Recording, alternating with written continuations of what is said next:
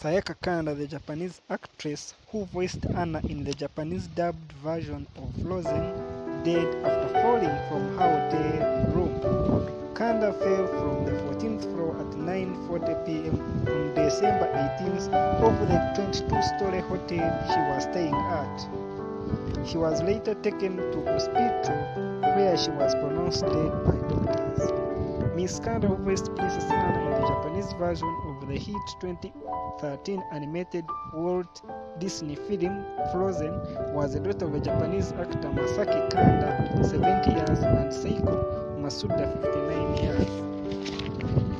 Miss Kanda did not show up for an afternoon performance of the musical My Fair Lady at Sapporo Cultural Arts Theatre, where she was playing Eliza Burrito.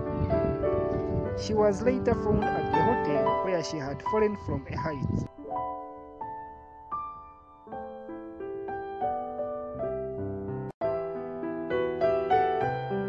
She was born October 1st, 1986 in Setagaya,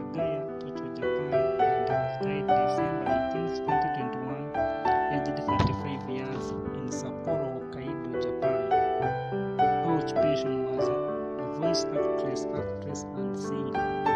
She started her active career in 1999 up to 2021.